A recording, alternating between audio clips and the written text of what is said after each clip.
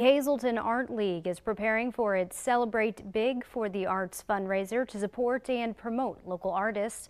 Funds raised from the event will continue to highlight local artists and for their facility to serve as a place where locals can take art classes and learn about art history. One of the things that we are doing apart from trying to build a community here and create a safe space and a creative space for everybody, is to raise funds for that. The Art League Celebrate Big for the Arts fundraiser will be this Thursday at the Hayden Center for the Arts.